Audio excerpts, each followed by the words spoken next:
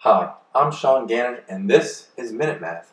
And today we're going to learn about the order of operations, and we're going to evaluate the expression.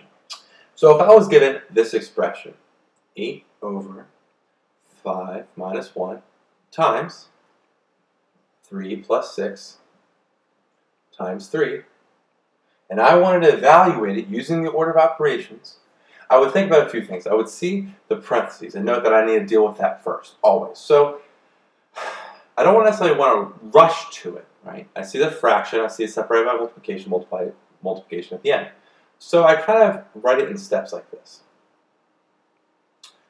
And the 3 plus 6 simply comes out to be 9, and we're good. But I like to combine steps if I can. I know that preemptively thinking about the future, that the 8 over 5 minus 1, I need to simplify that fraction. So I'll keep the 8 up top, but the 5 minus 1 simplifies to be 4.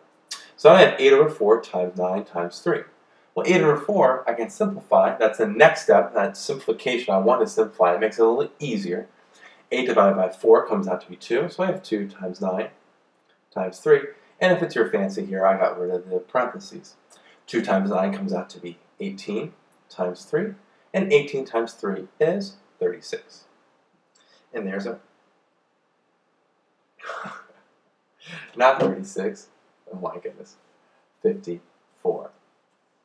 And 8 times 3 is 54, not 36. Oh my goodness, I was thinking 18 times 2. 18 times 3 is 54. Okay? Ah, embarrassing. Uh, late night. So, again, simplify here. 3 plus 6 is 9. Okay? And 8 uh, over 5 minus 1 comes out to be that 4. That's 5 minus 1 is 4. 8 over 4 is that 2. 2 times 9 is 18. 18 times 3 is 54, not 36, but 54.